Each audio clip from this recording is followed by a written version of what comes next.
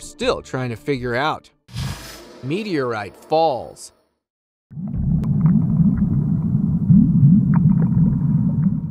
The Russians had another guest from deep corners of the vast space.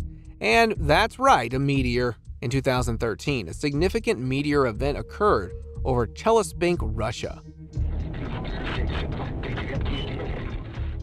About 20 meters in diameter. It entered the Earth, creating a bright fireball and generating a powerful shockwave.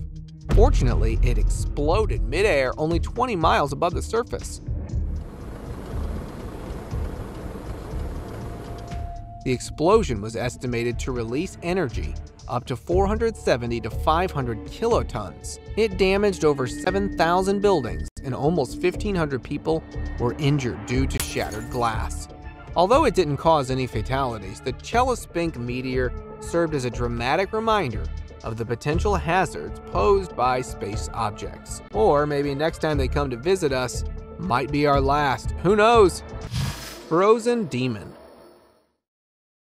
In the freezing cold of Russia, another astonishing discovery has just been made a frozen demon. It all started in June when a group of adventurous scouts stumbled upon a strange figure trapped in the Siberian ice. With twisted teeth and skinny, bony fingers, it looks like something straight out of a scary dream. This ancient and mysterious creature, kept frozen for who knows how long, is giving everyone the chills.